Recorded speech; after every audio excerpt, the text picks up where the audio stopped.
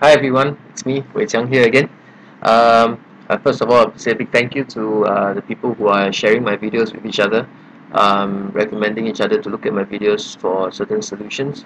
Um, it is really motivating and I thank you for that. So it encourages me to do more. So please do like and share my videos and subscribe to my channel. Uh, the more the merrier, the more the better. So today what we're going to do is to sh um, share how to solve this particular question. Uh, on the surface it looks like it's very difficult because it's very wordy. Right, four men, A, B, C, D, each have some money. The amount of money Ali had was one third the amount of money B, C, and D had. The amount of money Bala had was one quarter of the amount of money Ali, Chun Li, and Don had. And then we talk about the amount of money Chun Li had was one-fifth the total amount of money Ali, Bala and Don had. Then finally we know that Don has uh, 2990. So how much money did they have altogether? Well, actually what we need to do is um, bear with the space today, yeah, because the picture is pretty big. So four men, Ali, Bala and Chun Li each had some money. So when we talk about the first one, okay, Ali had one third so when we talk about Ali and then the BCD, Ali actually has one piece, BCD has three. So when we compare Ali with the total, Ali actually has one quarter. You get what I'm saying? Ali actually, okay, has one quarter the total amount of money. For Bala, Bala had one quarter the total amount of money. Uh, B, A, Ali, Chun Li, and Don had. So similarly, if we talk about Bala, we look at Bala here, A, C, and D. Um, Bala has got one part, whereas these other fellows here will have four parts. And again, when we look at Bala, Bala has got one fifth of the total amount of money. Alright, so here we have Bala has got one fifth the total amount of money. And then we talk about um, Chun Li now. Chun Li had one fifth the total amount of money Bala, Ali, Bala, and Don had.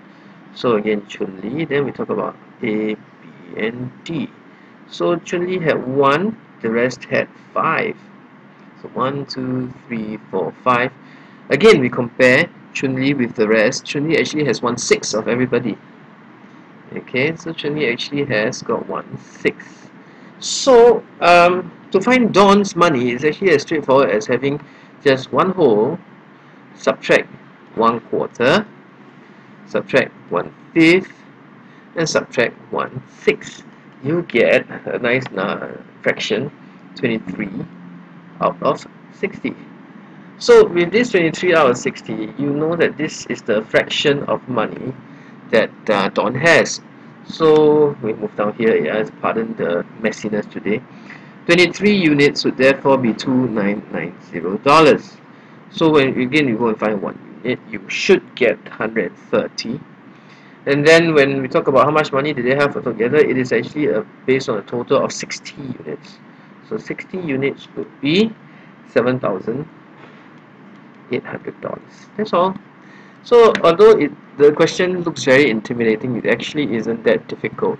So um, important concept here is for the students to recognize that the fractions here okay you need to be, need to be able to relate the fraction of one third to be one quarter of the total because what Ali has is one but the total number of units is actually four. Similarly for B and C. And if they are able to do that they should be able to solve the question pretty easily. So with that I thank you once again for sharing and liking my videos um, look forward to meeting those of us who are coming tomorrow. Um, if there is any last minute cancellation please please please please please drop me a, a, a text message. There are people on the waiting list so um, instead of wasting the food and space you know, if you can't come please let me know so that I can contact those on the waiting list. So once again Wei Qiang here signing off and uh, tomorrow I may not have time to do a video. Um, I'll do one maybe on Monday. In the meantime have a good weekend ahead and I'll see you on Friday for a fruitful sharing session. Bye.